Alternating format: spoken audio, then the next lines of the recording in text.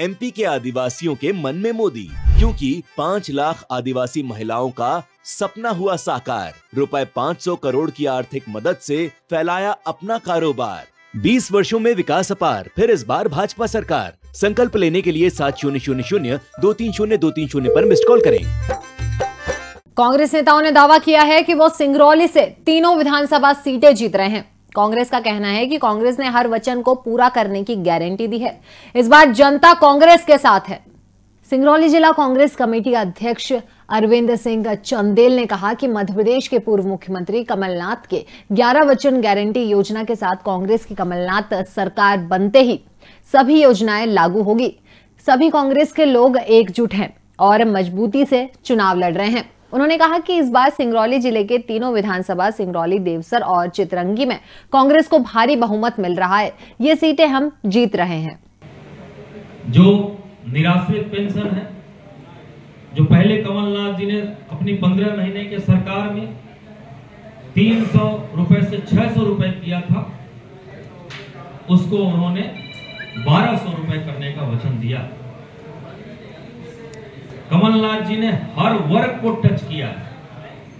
हर वर्ग को समझने का प्रयास किया है। किसानों के लिए उन्होंने पाँच बोरी यूरिया प्रति वर्ष मुफ़्त देने की बात कही है। छत्तीसगढ़ सरकार के तर्ज पर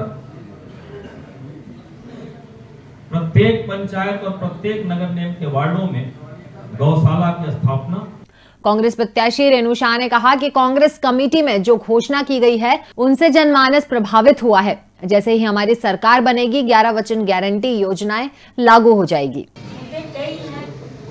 कनेक्टिविटी का अभाव है हॉस्पिटल का अभाव है हायर एजुकेशन का अभाव अभाव है। क्या क्या गिनती लेकिन बीजेपी गवर्नमेंट एक लंबा समय का कार्यकाल की जनता ने उनको दिया है। गवर्नमेंट भी रही है। अगर पंद्रह महीने हटा दिया जाए तो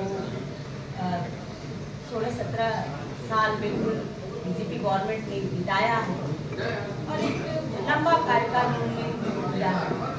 तो मैं हूँ कि बहुत सारे काम करने की आवश्यकता है। एमपी के गरीब के मन में मोदी, क्योंकि पूरी हुई पक्की छत की आस, चवालीस लाख गरीबों को मिला आवास।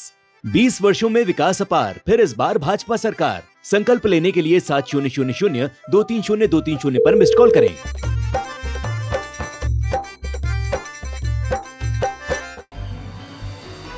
आप देख रहे हैं दखल न्यूज़।